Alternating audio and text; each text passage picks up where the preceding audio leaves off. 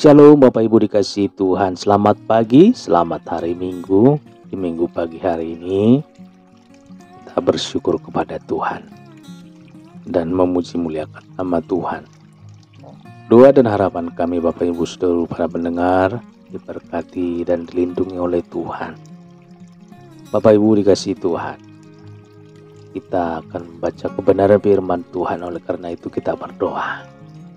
Bapak di dalam sorga Pagi hari ini kami mengucap syukur ya Tuhan. Kami boleh ada oleh karena kasih-Mu.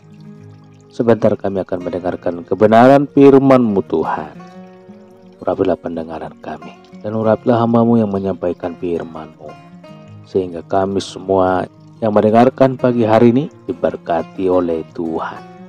Dalam nama Tuhan Yesus, kami berdoa dan mengucap syukur. Haleluya. Amin, amin. Bapak Ibu dikasih Tuhan, pembacaan firman Tuhan yang tertulis dalam Matius 6 ayat 15, Saudara. Matius 6 ayat 15. Tetapi jikalau kamu tidak mengampuni orang, Bapamu juga tidak akan mengampuni kesalahan kamu. Tetapi jika kamu tidak mengampuni orang, Bapamu juga tidak akan mengampuni kesalahan kamu. Saudara dikasih Tuhan, jikalau Anda tidak mengampuni orang, maka Bapa juga tidak akan mengampuni saudara. Kita bisa membayangkan jika Tuhan tidak mengampuni dosa kita. Saudara dikasih Tuhan, Siapa yang berani mengatakan bahwa selama hidupnya ia tidak pernah berbuat dosa? Tidak ada seorang pun yang benar, kata firman Tuhan, saudara. Setiap kita sejak lahir sampai hari ini, saudara, pasti pernah berbuat dosa. Saudara, nah apa yang akibatnya jika kita tidak mau mengampuni kesalahan orang. Kesalahan kita, pelanggaran kita, dosa kita juga tidak akan diampuni. 70 kali 7 kali.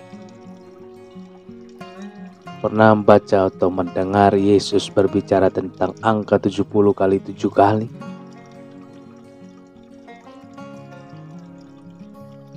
Saudara kasih Tuhan. Kemudian datanglah Petrus dan berkata kepada Yesus. Kita baca dari Matius 18 ayat 21 sampai 22 Saudara. Kemudian datanglah Petrus dan berkata kepada Yesus, "Tuhan, sampai berapa kali aku harus mengampuni saudaraku jika ia berbuat dosa terhadap aku. Sampai tujuh kali Yesus berkata, Bukan, aku berkata kepadamu, bukan sampai tujuh kali, melainkan sampai tujuh puluh kali tujuh kali. Apa artinya angka tujuh puluh kali tujuh kali, saudara? Suatu jumlah pengampunan yang harus kita berikan kepada seorang yang terus-menerus. Biasanya manusia punya limit atau batas pengampunan. Umumnya tiga kali, saudara. Setelah tiga kali tidak ada lagi maaf bagimu. Kalau 70 kali 7 berarti 490 kali. Suatu batas yang sangat banyak, saudara. Apa artinya angka besar itu, saudara?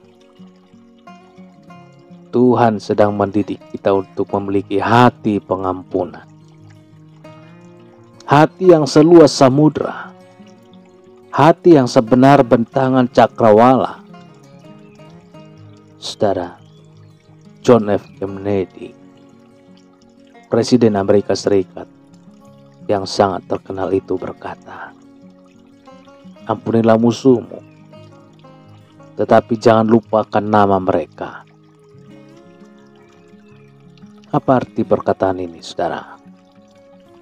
Kita diminta mengampuni, tetapi harus tetap mengingat pribadi mereka. Jangan menghapus dari kehidupan kita. Jangan melupakan mereka. Kita harus tetap bersahabat dengan mereka. Ada orang yang dengan terpaksa akhirnya rela mengampuni orang lain, tetapi sekaligus memutus hubungan melupakan orang itu untuk selamanya. Ini bukanlah pengampunan yang sejati. Ini bukanlah jenis pengampunan yang diminta oleh Tuhan. Mengampuni dari kemudian tetap menjadi hubungan baik. Saudara dikasih Tuhan, mengampuni dan kemudian tetap menjalin hubungan baik. Memang tidak mudah, saudara tapi kita yakin dan percaya kalau John F. Kennedy bisa, saudara, mengapa kita tidak? Saudaraku dikasih Tuhan, kita berdoa. Bapa di dalam sorga pagi hari ini Tuhan, kami sudah mendengarkan kebenaran firman-Mu. Terpujilah Tuhan, termulialah Tuhan. Kami Tuhan kadang tidak sanggup untuk mengampuni. Tetapi lewat kebenaran firman Tuhan pada saat hari ini, kami harus mengampuni supaya Tuhan mengampuni kami. Tuhan rahasia firman-Mu Tuhan bagi kami. Menjadi kekuatan baru, pengetahuan baru. Terpujilah namamu termulialah Engkau Tuhan. Berikan kami kekuatan untuk kami dapat bisa mengampuni orang lain, mengampuni orang yang bersalah kepada kami. Supaya kami Tuhan dapat diampuni.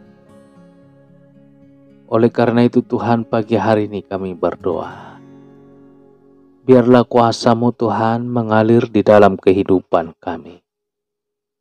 Lewat pendengaran kami pada saat pagi hari ini, rohani kami dibangkitkan, hati kami dikuatkan, untuk kami dapat memberikan pengampunan kepada orang lain, untuk kami dapat memberikan hati yang tulus dalam pengampunan kepada orang lain, sekaligus memberitakan firman-Mu, sekaligus menjadikan mereka menjadi sahabat kami. Tuhan Yesus, ada banyak perkara yang tidak kami mengerti. Oleh karena itu Tuhan, berikanlah kami Tuhan hikmat pengetahuan yang daripada sorga, supaya kami benar-benar tulus memberikan pengampunan ini kepada sesama kami, pada orang yang menyakiti kami karena lewat daripada itu Tuhan, kami mengerti bahwa kuasamu bekerja. Karena engkau punya rencana bagi seluruh umat manusia. Tuhan Yesus, biarlah kami Tuhan di dalam rancanganmu itu. Untuk kami dapat menjadi saluran berkat bagi orang lain. Mengampuni orang lain sekaligus kami dapat memberitakan firman-Mu bagi orang yang menyakiti kami. Karena kami yakin dan percaya bahwa di mana firman diberitakan, firman itu berkuasa menggarap setiap hati dan firman itu bekerja. Terpujilah Tuhan, termulialah Engkau Bapa. Pada saat pagi hari ini kami berdoa untuk Bapak Ibu seluruh para pendengar di mana pun berada pada saat pagi hari ini. Tuhan berkati rohaninya. Tuhan berkati jasmaninya. Berikan kesehatan, berikan kekuatan, berikan kesembuhan. Sembuhan jasmani, kesembuhan rohani. Di dalam nama Tuhan Yesus. Yang bergumul dalam permasalahannya Tuhan berikan kekuatan jalan keluar supaya mereka juga dapat menanggungnya dan menyelesaikannya dengan kasih Tuhan, kuasa Tuhan. Bapa di dalam sorga keluarga lepas keluarga yang mendengarkan program santapan rohani pada saat pagi hari ini, di minggu pagi ini, Tuhan berkati seluruhnya dari anak-anaknya, dari cucunya, suami dan istri, oma-oma, opa, opung, Tuhan berkati. Terpujilah namamu Tuhan, termulialah namamu Yesus pagi hari ini, biarlah nama Tuhan ditinggikan dan diagungkan. Dimuliakanlah Tuhan kekal untuk selama-lamanya. Haleluya. Amin. Amin. Bapak Ibu dikasih Tuhan, Tuhan Yesus memberkati kita sudah mendengarkan kebenaran firman Tuhan dan kita sudah berdoa. Kita yakin dan percaya bahwa perkara Tuhan, kuasa Tuhan akan bekerja.